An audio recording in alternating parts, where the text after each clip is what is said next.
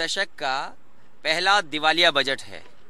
और दिवालिया बजट इसलिए कह रहा हूँ कि बैंक्स डूब रही हैं। सरकार कर्ज पर पैसा उठा रही है। लोगों के वेतन के लिए पैसा नहीं है। और एयर इंडिया बिक रहा है। प्राइवेटाइज रेलवेज हो रहा है। एलआईसी बिक रहा है। ऐसी सरकार से क्या उम्मीद करोगे? और किसानों की आय जब नहीं दोगुनी हुई, धान नहीं खरीदा गया, किसान के गन्ने का अभी भी बकाया है, सरसों खेत में खड़ी है, अभी कोई कीमत तय नहीं है। इसलिए मैं कहता हूँ कि जब ये सहूलियत दे रहे इनकम टैक्स की, जब लोगों की इनकम नहीं बढ़ी, काम करने वालों की इनकम नहीं बढ़ी, और इन्वेस्टमेंट से रोज़गार और नौकरी नहीं मिले तो जब इनकम नहीं बढ़ी है किसी की तो आप इनकम टैक्स में सहूलियत किसको दे रहे हैं?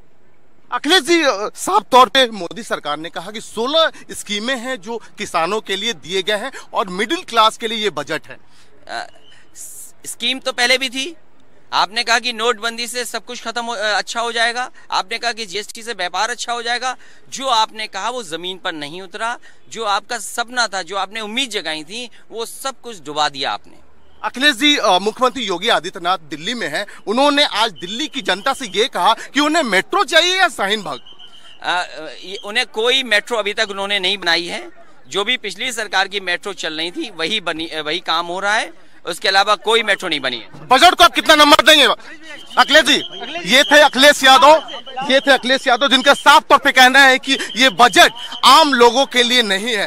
कैमरामैन आशीष के साथ पुष्कल भारत समाचार दिल्ली। Thank you.